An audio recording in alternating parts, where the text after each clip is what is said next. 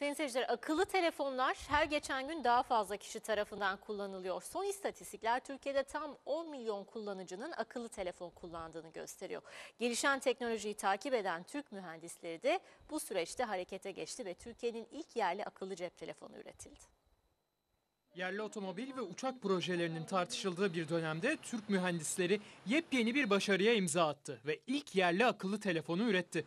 Dünyada yaklaşık 700 milyon akıllı telefon kullanıcısı var. Türkiye'deki akıllı telefon piyasası da hızla büyüyor. Son veriler Türkiye'de 10 milyon kişinin akıllı telefon kullandığını gösteriyor. GSM operatörü Turkcell tamamı Türk mühendisleri tarafından hazırlanan ilk yerli akıllı telefonu piyasaya sürmeye hazırlanıyor. Biz inovasyona çok önem veriyoruz. 2011'de de, 2012'de de, 2013'te de çalışanlarımıza verdiğimiz birinci mesaj inovasyon hakkında. Biz inovasyonu da sadece ortaya yeni bir fikir atmak olarak düşünmüyoruz. Yeni bir fikri düşünmek olarak düşünmüyoruz.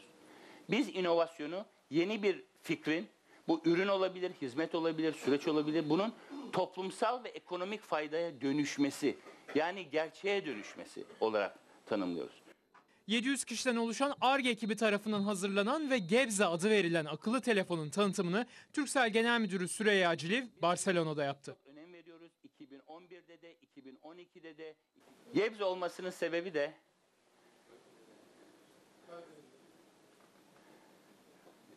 bu cihaz Türksel teknoloji mühendisleri tarafından, Türk mühendisleri tarafından ta- e, tasarlanmış.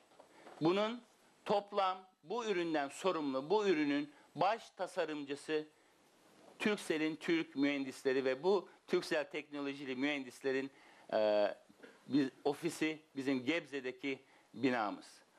Turkcell cep telefonu ve tablet bilgisayarların üretiminde mobil dünyasının önde gelen firmalarından Qualcomm ile işbirliğine gitti. İletişim konusunda İlk etapta telefonun üretimi yurt dışında yapılacak. Ancak 2013'ün sonuna doğru Türkiye'de de üretim başlayacak. Böylece cari açığı düşürmek için de önemli bir katkı sağlanmış olacak.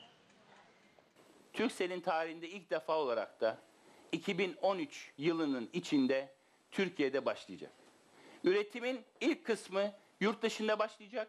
Fakat ik- 2013'ün bitiminden önce bu üretimi Türkiye'de başlatmayı da planlıyoruz.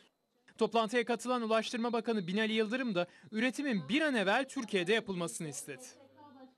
Ya bunu bir an önce zaman kaybetmeden Türkiye'de hemen imalatı yerli ortaklarda seçerek başlaması o zaman daha anlamlı hale gelecek.